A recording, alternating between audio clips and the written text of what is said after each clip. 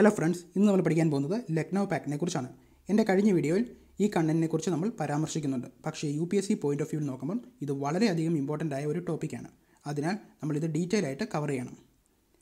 ഒരു സിനിമയിൽ നായകനും നായികയും ഒത്തുചേരുന്ന പോലെ ഈ ലക്നൗ പാക്റ്റിലും രണ്ട് ഒത്തുചേരലുകൾ നടക്കുന്നുണ്ട്. അതായത് ഒന്ന് കോൺഗ്രസ്സിലെ മോഡറേറ്റ്സും എക്സ്ട്രീമിസ്റ്റും ഒത്തുചേരുന്നു. അതുപോലെ തന്നെ മുസ്ലിം ലീഗും കോൺഗ്രസും ഒത്തുചേരുന്നു നമുക്കറിയാം മുസ്ലിം ലീഗ് ആയിരത്തി തൊള്ളായിരത്തി ആറിലാണ് ഫോം ചെയ്യുന്നത്. കോൺഗ്രസ് പോലെ തന്നെ അവരും ആനുവൽ സെഷനാണ് കണ്ടക്ട് ചെയ്യുന്നത്. അതായത് വർഷത്തിൽ ഒരിക്കൽ ഒരു സെഷൻ ഹായ് ഫ്രണ്ട്സ് നമുക്കിനി എന്തൊക്കെ കാരണങ്ങൾ കൊണ്ടാണ് മോഡറേറ്റ്സും എക്സ്ട്രീമിസ്റ്റും ഒന്നായത് അല്ലെങ്കിൽ ആ ലക്നൗ പാക്റ്റിലേക്ക് വഴി തെളിയിച്ചത്? അതിനെക്കുറിച്ചാണ് നമ്മളിനി പഠിക്കാൻ പോകുന്നത്. അതിൽ ഏറ്റവും പ്രധാനപ്പെട്ട പോയിന്റാണ് ആനി ബസന്റെയും തിലകിന്റെയും എഫേർട്സ് നമുക്കറിയാം ഹോം റൂൾ ലീഗിന്റെ ഫൗണ്ടേഴ്സാണ് ഇവർ രണ്ടും. നമ്മൾ കഴിഞ്ഞ വീഡിയോയിൽ കണ്ടു. ഇവരുടെ കഠിനമായ അധ്വാനം കൊണ്ടാണ് ഈ ലക്നൗ പാക്റ്റിലോട്ട് വഴി തെളിയിച്ചത്. പിന്നീടുള്ള പോയിന്റ് എന്ന് പറഞ്ഞാൽ ഫിറോഷ മേത്ത എന്ന മോഡറേറ്റിന്റെ മരണം. അദ്ദേഹം ഈ ഒത്തുചേരലിനെ എതിർത്തിരുന്നു. അപ്പം ഈ മരണം ആക്ച്വലി ബ്ലെസ്സിങ് ഇൻ ഡിസ്ഗൈസ് ആണ്. പിന്നീടുള്ള പോയിന്റ് എന്ന് പറഞ്ഞാൽ സൂറത്ത് സ്പ്ലിറ്റിന് ശേഷം അതായത് നയന്റീൻ സീറോ സെവനിലെ സൂറത്ത് സ്പ്ലിറ്റിന് ശേഷം കോൺഗ്രസിന്റെ ആക്ട് ഹൈലി ഇനാക്റ്റീവ് ആയിരുന്നു. അപ്പം ഈ ഒത്തുചേരൽ അനിവാര്യമാണ്. അതായത് റെഗുലർ പ്രഷർ അപ്ലൈ ചെയ്താൽ മാത്രമാണ് ബ്രിട്ടനിൽ നിന്ന് നമുക്ക് കൺസെഷനോ ആനുകൂല്യങ്ങളോ നേടിയെടുക്കാൻ പറ്റുള്ളൂ. അപ്പം കോൺഗ്രസ് ഇനാക്റ്റീവ് ആകുന്നത് നമുക്ക് ഒട്ടും നല്ലതല്ല. അതായത് ഇന്ത്യയുടെ നാഷണലിസ്റ്റ് നാഷണലിസ്റ്റ് മൂവ്മെന്റിന് ഒട്ടും നല്ലതല്ല. ഇനി നമ്മൾ പഠിക്കാൻ പോകുന്നത് എന്തൊക്കെ കാരണങ്ങൾ കൊണ്ടാണ് മുസ്ലിം ലീഗും കോൺഗ്രസും ഒത്തുചേർന്നത്. അതിലേറ്റവും പ്രധാനപ്പെട്ട പോയിന്റാണ് annulment of partition of Bengal നമുക്കറിയാം പാർട്ടീഷൻ ഓഫ് ബംഗാൾ എന്ന് പറഞ്ഞിട്ടുണ്ടെങ്കിൽ ലോർഡ് കേഴ്സൺ പ്രഭു അതായത് അദ്ദേഹം ഇവിടുത്തെ വൈസ്രോയി ആയിരുന്നു. അദ്ദേഹത്തിന്റെ ഒരു പോളിസിയാണ്. അതായത് മതത്തിന്റെ അടിസ്ഥാനത്തിൽ ഇന്ത്യ ഇന്ത്യനല്ല ബംഗാളിനെ വിഭജിക്കുക. അതായത് ഒരു ഭാഗം മുസ്ലിം മജോറിറ്റി മറ്റ് ഭാഗം ഹിന്ദു മജോറിറ്റി നമുക്കറിയാം അന്നത്തെ കാലത്ത് നാഷണലിസത്തിന്റെ നെർവ് സെന്റർ ആയിരുന്നു ബംഗാൾ. അതായത് ഏറ്റവും കൂടുതൽ വ്യക്തിത്വങ്ങൾ ഉയർന്നു വന്നത് ബംഗാളിൽ നിന്നാണ്. അതായത് ബ്രിട്ടീഷിനെതിരെ പോരാടാൻ വേണ്ടി. അപ്പം അങ്ങനെ വിഭജിക്കുകയാണെങ്കിൽ ആ ഒരു വളർച്ചയ്ക്ക് നമുക്ക് തടയിടാം. അതായിരുന്നു ബ്രിട്ടന്റെ പ്ലാൻ. അങ്ങനെ കൊണ്ടുവന്ന പ്ലാ പോളിസിയാണ് പാർട്ടീഷൻ ഓഫ് ബംഗാൾ. പക്ഷേ അതിനെ annulment of partition of Bengal വഴി ലോർഡ് ഹാഡിഞ്ച് നിർത്തലാക്കി. അത് നിർത്തലാക്കിയ അനൗൺസ്മെന്റ് വന്നത് കിങ് ജോർജ് ഫൈവിന്റെ കൊറോണേഷൻ സെറിമണിയിൽ വെച്ചാണ് അത് പറഞ്ഞത്. ലോർഡ് ഹാഡിഞ്ചാണ് അനൽമെന്റ് ഓഫ് പാർട്ടീഷൻ പ്രഖ്യാപിച്ചത്. അപ്പോൾ അത് മുസ്ലിങ്ങൾക്ക് ഒരു ഡിപ്രഷനായി ഒരു വിഷമം വന്നത്. കാരണം അവർക്ക് സ്വന്തമായിട്ടൊരു പ്രൊവിൻസ് പോലെ കിട്ടുമായിരുന്നു. ധാക്ക ക്യാപിറ്റലായിട്ട് ഒരു മുസ്ലിം മജോറിറ്റി ഏരിയ കിട്ടുമായിരുന്നു. പക്ഷേ അത് നഷ്ടപ്പെട്ടപ്പോൾ അവർക്ക് വിഷമം വന്നു. പിന്നീടുള്ളത് British refuse to help Turkey അതായത് ടർക്കി ഭരിച്ചിരുന്നത് ഖിലാഫയാണ്. ഖിലാഫ എന്ന് പറഞ്ഞാൽ മുസ്ലിമിന്റെ ഒരു റിലീജിയസ് ഐക്കണാണ് അദ്ദേഹത്തിന് എതിരെയുള്ള ബ്രിട്ടന്റെ പോളിസിയും പിന്നെ യുദ്ധത്തിൽ സഹായിക്കാത്തതും നമുക്കറിയാം ഫസ്റ്റ് വേൾഡ് വാറിൽ ബ്രിട്ടൻ ഒരു സൈഡിലും ടർക്കി ഓസ്ട്രേലിയ ഒക്കെ വേറെ ഒരു ഭാഗത്തുമായിരുന്നു. അപ്പം അതൊക്കെ അവർക്കൊരു വെറുപ്പുളവാക്കി. പിന്നീടുള്ള പോയിന്റ് എന്ന് പറഞ്ഞാൽ മുസ്ലിം ലീഗിലെ തന്നെ പുതുതലമുറ.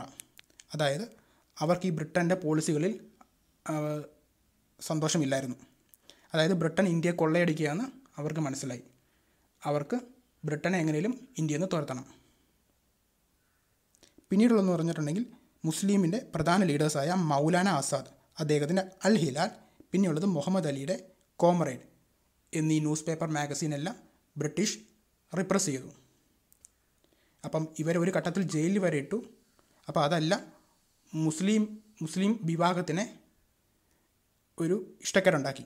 പിന്നീടുള്ളൊരു പോയിന്റ് എന്ന് പറഞ്ഞാൽ അലിഗ്രഹിൽ ഒരു യൂണിവേഴ്സിറ്റി സ്റ്റാർട്ട് ചെയ്ത് അതുവഴി ഇന്ത്യ എമ്പാടും കോളേജുകൾക്ക് അഫിലിയേഷൻ കൊടുക്കുവാൻ ഒരു പ്ലാൻ ഇവരുണ്ടാക്കിയായിരുന്നു.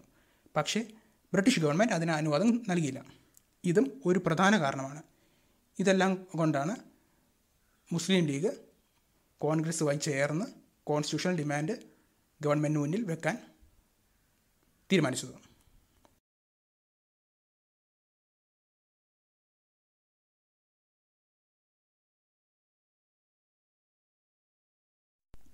ഇനി നമ്മൾ പഠിക്കാൻ പോകുന്നത് ഈ ലക്നൗ പാക്റ്റിന്റെ ഒരു നേച്ചർ അതിനെപ്പറ്റിയാണ്. അതായത് കോൺഗ്രസും ലീഗും ഒരുമിച്ചു. അവർ രണ്ടുപേരും കൂടെ ചേർന്ന് ഒരുമിച്ചാണ് കോൺസ്റ്റിറ്റ്യൂഷണൽ ഡിമാൻഡ് ഗവൺമെന്റിന് മുന്നിൽ വെച്ചത്. പിന്നീടുള്ളൊരു കാര്യം എന്ന് പറഞ്ഞിട്ടുണ്ടെങ്കിൽ കോൺഗ്രസ് ലീഗിന്റെ സെപ്പറേറ്റ് ഇലക്ട്രേറ്റ് എന്ന ആവശ്യത്തിനെ പിന്തുണച്ചു. പിന്നീടുള്ളതെന്ന് വെച്ചാൽ മുസ്ലിമിന് ഈക്വൽ സീറ്റ് ഇൻ ലെജിസ്ട്രേറ്റർ കൊടുത്തു. അതായത് ഓൾ ഇന്ത്യ ലെവലിലും പ്രൊവിഷണൽ ലെവൽ ലെവലിലും നമുക്കറിയാം അന്നത്തെ കാലത്ത് പ്രൊവിൻ പ്രൊവിൻസസുകളാണ് ഉണ്ടായിരുന്നത്. അതായത് ബോംബെ പ്രൊവിൻസ് മദ്രാസ് പ്രൊവിൻസ് അങ്ങനെ ബംഗാൾ പ്രൊവിൻസ് അങ്ങനെ പ്രൊവിൻസുകളാണ് അന്നുണ്ടായിരുന്നത്. അപ്പോൾ അതിലെല്ലാം മുസ്ലിംസിന് തുല്യ സീറ്റുകൾ കൊടുത്തു.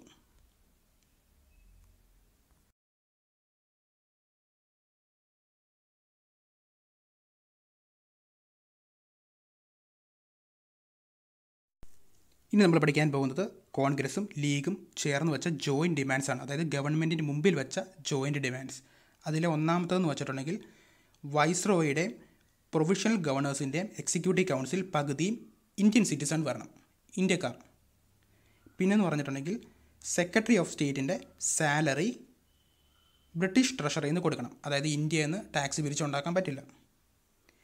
പിന്നെ ഉള്ളതെന്ന് വെച്ചിട്ടുണ്ടെങ്കിൽ ലെജിസ്ലേറ്റീവ് കൗൺസിലിന്റെ ഒരു കാലാവധി അഞ്ച് വർഷമായി ആക്കണം. പിന്നെ ഉള്ളതെന്ന് വെച്ചാൽ സെൽഫ് ഗവൺമെന്റ് എത്രയും പെട്ടെന്ന് ഇന്ത്യയ്ക്ക് നൽകണം. ഇന്ത്യയുടെ സെൽഫ് ഗവൺമെന്റ് എന്ന ആവശ്യം എത്രയും പെട്ടെന്ന് ബ്രിട്ടൻ അംഗീകരിക്കണം. ഇതൊക്കെയായിരുന്നു. നമ്മൾ ഇനി മുതൽ എല്ലാ ശനിയാഴ്ചകളിലും നമ്മൾ അതുവരെ പഠിപ്പിച്ച അല്ലെങ്കിൽ അതുവരെ എടുത്ത ലെക്ചറിന്റെ ഒരു എം സി ക്യു അതായത് U P S C model questions നമ്മൾ തയ്യാറാക്കി ശനിയാഴ്ച ഇടുന്നുണ്ട്. അപ്പം എല്ലാവരും അതൊന്ന് അറ്റംപ്റ്റ് ചെയ്യുക. അതിന്റെ ഉത്തരങ്ങൾ കമന്റായിട്ട് രേഖപ്പെടുത്തുക.